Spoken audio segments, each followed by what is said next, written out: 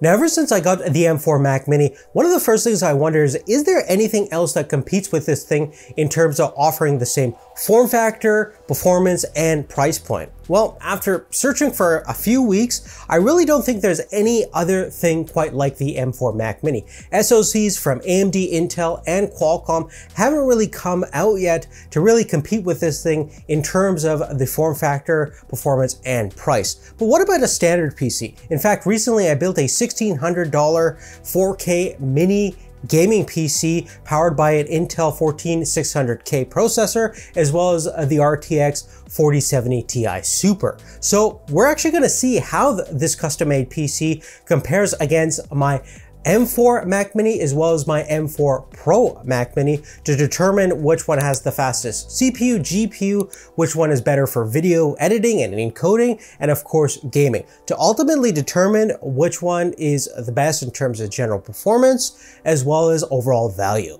Now first let's go over the core specifications of our Mac Minis. Now the base M4 chip Mac Mini has a 10 core CPU, 10 core GPU, 16 gigabytes of RAM, 256 gigabytes of SSD storage for 599. Our M4 Pro is also the base model. It has a 12 core CPU, 16 core GPU, 24 gigabytes of RAM, and 512 gigabyte SSD drive for 1399. On top of that, we also have Thunderbolt 5 ports at the back of the M4 Pro, which is only Thunderbolt 4 certified on the standard M4 Mac Mini. Now let's talk about the PC that we have. It's based off of the Intel 14600K processor. That's 14 core CPU with 20 threads, 6 performance cores, and 8 efficiency cores. It can turbo up to 5.3 gigahertz. This CPU is about a year old now, so the prices have come down and we got it for about $230. Now, since we're building a compact PC, we need a low profile CPU cooler. The 14600K is quite a hot processor, especially when it's at full boost. So I went with a Noctua NH-L9i, which hopefully will keep the thermals in check as well as be pretty quiet at the same time and not bad for $45. In terms of the motherboard, we're going to be using an ITX form factor, so we got the Asus ROG Strix B760i gaming Wi-Fi board. This board has most of the modern amenities, including PCI 5, USB 3.2, supports DDR5 at 7600 mega transfers per second, and built-in wireless Bluetooth as well as 802.11ax Wi-Fi. In terms of RAM and storage, while we're using 32 gigabytes of DDR5 from Crucial, clocked in at 6000 megatransfers per second. It's cheap at $80. In terms of the SSD, we're using a 1 terabyte ADATA M.2 PCIe Gen 4 drive, pretty affordable at $80 as well. Furthermore, in terms of the GPU, we went a little high end over here since we actually want to do some 4K 60 FPS gaming with ray tracing on. So we got a 4070 Ti Super from Asus. I actually got this used off of Amazon for around $730. Moving forward, we're going to need an SFX power supply. So I went with a Cooler Master V850. It's gold, 80 plus certified, fully modular, has a 12 volt high power connection for PCI 5.0, and at 850 watts, this should actually be powerful enough to potentially even upgrade to a 4080 later down the road if we need to. Last but not least is our case, the Fractal Design Ridge in white. Now this utilizes a split design where one side of the case houses your ITX motherboard as well as power supply. The other side houses your GPU up to 335 millimeters. That's more than long enough for what we need. Now this case isn't exactly what I call small. The dimensions are 35.5 by 9.5 by 37.5 centimeters. That means you, in the volume of this case, you could probably fit like 15 Mac Minis potentially. But to be fair, I think pretty much every ITX case is going to look like a giant to the Mac Mini, and you can never really compete with it from a size and packaging perspective. Now the grand total for all of our parts, and you can find a price breakdown in the description down below alongside our affiliate links, but the total sum for everything we've talked about is about 1580, not including taxes, or a Windows 11 key. Now I do have to mention, if you didn't go down the ITX route and go with a standard case, you could probably save two to three hundred dollars on top of this price. And if you don't care about 4K gaming with high frame rates, you can probably get an RTX 4060 and save another $300. So you could probably get a PC for around 1000 to $800 that would be pretty comparable to the performance that you're going to get with the M4 Mac Mini. But let's actually find out what the performance of this PC is in comparison with our Mac Minis. So the first thing we're going to take a look at is our CPU benchmark results using Cinebench. Now at stock frequencies, our 14600K scored about 1166 on multi-core processing and 114 points on single core processing. On our standard M4 chip on our Mac Mini, we got around 973 points in terms of the multi-core performance and 174 in terms of single core. On our M4 Pro chip, we got 1400 points on our multi-core and about 173 single core. In terms of Geekbench, using their standard CPU benchmark, we're getting about 17,000 on the multi-core and 2700 on our single core on the Intel chip. On the M4 base model Mac Mini, we're getting around 15,000 points and 3,800 points multi-core and single core respectively, and the M4 Pro is the fastest at 20,000 points multi-core and 3,600 points single core. Next, let's take a look at our SSD performance. The M4 has a slower 256 gigabyte SSD. It runs about 3000 and 2000 megabytes a second read and write respectively. The M4 Pro with the 512 gigabyte faster SSD runs at 5800 and 4400 megabytes a second read and write respectively and our ADATA 1 terabyte SSD drive uh, runs around 5,000 and 5,700 megabytes a second read and write, respectively, using ASSD, which is very similar to Amorphous Diskmark on macOS. Now, next, I'm going to do a real world encoding test using Handbrake. I'm going to take four raw clips out of my camera and encode them using the fast HEVC H.265 codec in Handbrake, and the fastest runtime was actually with our custom built Intel system at 19 minutes and 39 seconds.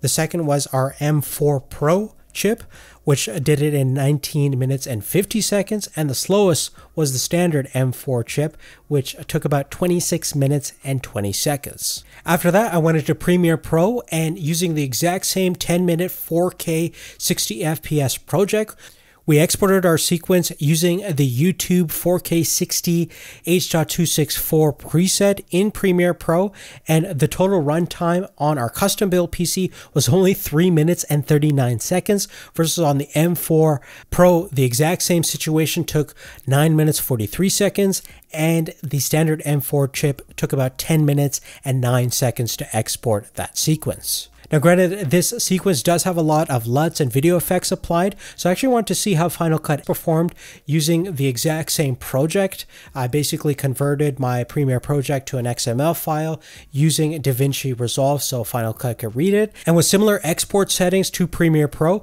we did get a slightly faster result. The export time ran at 9 minutes 2 seconds on the M4 Pro, and the M4 chip did it in 9 minutes and 41 seconds. But these export times are nowhere near as good as what we encountered in Premiere Pro with our custom built PC, mainly due to the fact that Premiere Pro is utilizing all those CUDA cores we have on our 4070 Ti. In fact, I think we have 7,680 and over 12 gigabytes of GDDR6X memory. So, in terms of the GPU horsepower, it's really no contest. And for fun, just to further illustrate that point, let's get into our GPU benchmarks uh, using uh, Valley at 4K ultra details. This is obviously uh, not utilizing a metal on the Apple side, so it's really not optimized, but let's just see how a cross-platform benchmark like this performs on all these machines. And our M4 standard base model got around 21 average frames per second. The M4 Pro got 37 average frames per second, and our 4070 Ti Super got around 159.4 average frames per second in the exact same settings. Granted, obviously the NVIDIA driver support and hardware is much better optimized on a benchmark like this, even though we're running at OpenGL, which is not going to give us as fast speeds as DirectX 11. Now next we're going to run another synthetic benchmark but inside a real game. Rise of the Tomb Raider which is cross-platform, runs natively on Mac OS, and at 1080p with the same detail settings, we're getting around 77 average frames per second on the M4, 133 on the M4 Pro, and 243.2 average frames per second on our 4070 Ti. After that, we're going to take a look at some of our real-world benchmark results, and we're measuring FPS using the Metal HUD overlay in macOS, which is a developer option. And we're measuring FPS using MSI Afterburner on the PC side. And uh, we did not overclock the 4070 Ti. It's completely bone stock out of the box. Now, one supported game on macOS, which is hard to run, is Everspace 2, and at 1080p, it only ran about 30 to 40 FPS on the M4 and about 40 to 55 FPS on the M4 Pro. Not that great, especially at that lower resolution. And in the exact same uh, resolution and quality settings, we're getting around uh, a high or average frames per second about 187 and a low about 128 on our 4070 Ti. Obviously, the game is super optimized and we have good driver support. CS2, on the other hand, runs great on macOS. Even on the M4 chip, we get around 120 frames per second at times and a low of 90 1080p medium detail settings.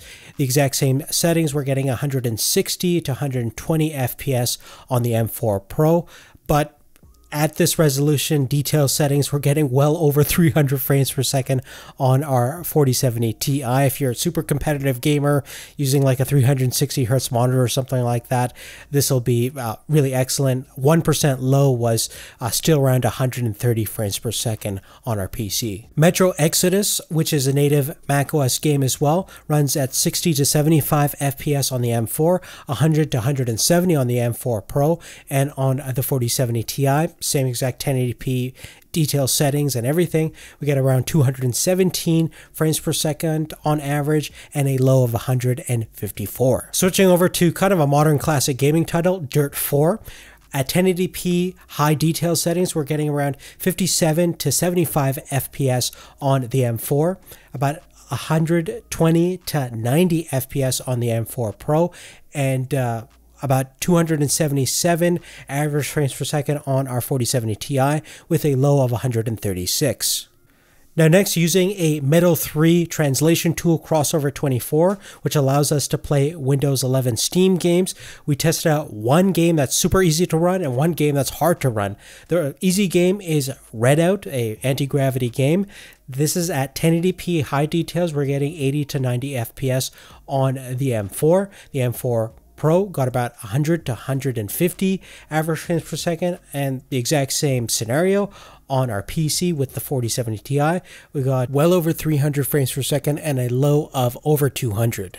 The game that's hard to run is obviously Cyberpunk 2077, 1080p medium detail settings, the M4 and this is again being translated so this is not optimized for metal 3 or anything like that but you still get 30 to 40 fps which is definitely playable. M4 pro hovered around 50 FPS, which is definitely pretty good. And on our gaming system, again, ray tracing off, DLSS off, 1080p medium detail settings, 141 average frames per second, and 97 minimum 1% lows. Now, as you saw from the gaming results, in pretty much every circumstance you can think of, pretty much no integrated GPU could ever compete with a dedicated graphics card like the 4070 Ti. Sure, the price point of the 4070 Ti at being around $750 to $800 is more expensive than the base, Mac Mini. But keep in mind that if you actually want to do true 4K 60 FPS gaming and don't want to get a 4080 or 4090, which costs 1,000 to $2,000, at around the $800 mark, the 4070 Ti is probably a more relatively affordable price point for high resolution, high FPS ray tracing gaming. Now, as far as our 14600K processor goes, it's definitely faster than the base model M4 chip, which is nice to see. Not quite as fast as the M4 Pro, but not off by a huge margin. In fact, most of our real world comparison when we're actually taking a look at video encoding times and uh, applications that utilize a lot of multi-core uh, capabilities, the 14600K is slightly faster. Now, as far as machine learning or AI capabilities are concerned, the Raptor Lake series of processors aren't really optimized for that. They were designed more than two years ago now with the 13th and 14th generation Intel chips. And uh, really, we don't have the same dedicated number of compute units designed for machine learning processes like what we find on the M4 chip. So you probably want to go to the Intel Ultra series of chips that have those enhancements for AI development. Uh, but for general day-to-day computing needs, the 14600K being about a year old now has definitely come down in price. And for around the $200 mark, it's probably one of the best dedicated CPUs that you can get right now. Now, as far as overall value goes, the base model M4 Mac Mini is pretty tough to beat. It's powerful enough for pretty much most people's day-to-day -day needs, whether you're uh, doing some light gaming, video editing, content creation, or really anything in between. It's really quite a capable little system. And with the Thunderbolt interface, you can expand it easily externally, no problem. And even though internally there's pretty much no user upgradable options. Unlike a custom-made PC, it's still a awesome little package that's super powerful and excellent for under the $600 mark. If we were to make a custom-built PC that directly competes against the performance of an M4 Mac Mini, we'd probably spend 800 to $1,000 easily, not have the same form factor, yes, have the expandability options for hardware upgrades, as well as be better for uh, GPU-based applications with a dedicated graphics card, so better video rendering capabilities as well as better gaming capabilities. But again, it's still going to be more expensive and not at the same form factor. But really on that guys, that's really definitely love to know what you guys think of this comparison video. Would you go for a custom made PC over a M4 Mac Mini. In fact, if you have an older custom-made gaming PC, would you upgrade to a M4 Pro or M4 Mac Mini uh, just for the sake that it is technically faster and it's gonna make your overall desktop setup a lot more cleaner. Definitely a fan of that. If you have any specific questions, let me know in the comment section down below. Please make sure to like and subscribe if you haven't done so. And if you go through any of our affiliate links down in the description down below, it helps us uh, grow the channel, makes videos possible like this. We don't have any sponsors as you saw, and we really appreciate you guys watching and supporting the channel. We'll see you real soon in the next one and take care. Bye.